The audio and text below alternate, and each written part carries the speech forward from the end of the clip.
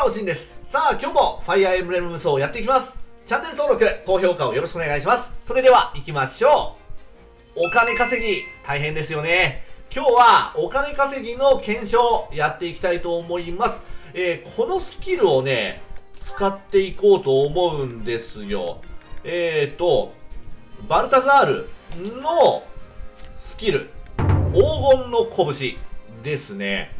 150ヒット以上の間、ヒット数に応じて攻撃が強化されて、敵を吹き飛ばすとお金を獲得するというやつですね。このお金を獲得する、どれぐらい効果があるのか、見ていきましょう。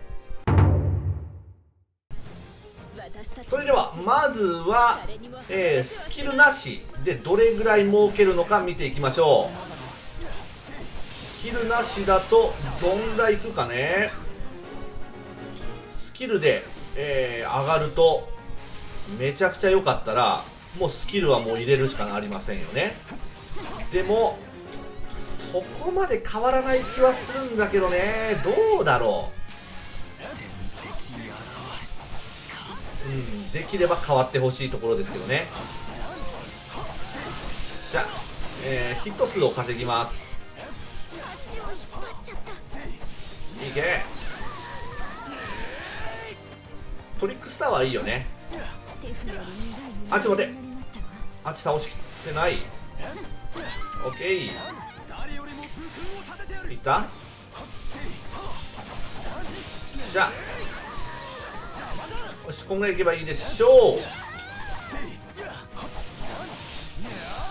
じゃあ、うん、500体倒せば、えーと、と S クラスになるんで大丈夫ですね。OK じゃあ完璧ではあとはボスが出るのを待つだけです。かなり早く周回できるからね。いいんですよここは。はい。ボス出ておいで。来ないな。ボス来ない。あ来た来た来た。はい。終わりです。ではこれでどれぐらい儲けるのか見てみてください。えー、ちょっと遅かったですね。1分30秒ぐらいです、えー、早い時は1分10秒ぐらいでクリアできますね。で報酬は1周でえー、っと1万7000ですね。1万7000。これがどれぐらい変わるんでしょうか？黄金の拳をつけてみます。ではいつも通りいくね。ぶっ飛ばして倒せばいいんだね。ぶっ飛ばして倒せばいい。ぶっ飛ばせお金が出るね。お金出る出る出る。で、これで、変わってくれればいいけどね。一体どれぐらい入るんでしょうか？いけうん。お金はなんかボロボロ出る気はするけど。どうなんだ？いけ。うーん。数字が見えないから分かんない。数字は見えないんだけどもなんかすごそうな気はする。よしオッケー終わりか？いけおしなんかキラキラして綺麗だぞ。綺麗だよし。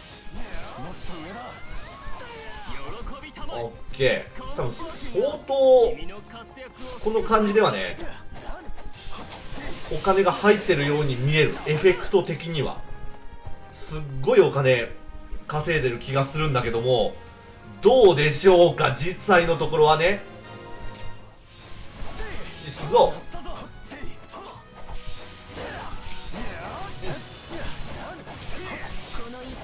どうだ？い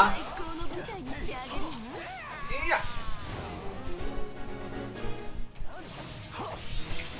おおいたいたいた。はいどう変わるでしょうねさっきのが、えーつけずにいって1万7000でしたけども、今回は、まあ、クリアタイムは変わらないですね。1万7000がどれぐらいになるでしょうか。3万とかなれば嬉しいな。どうだ？この次。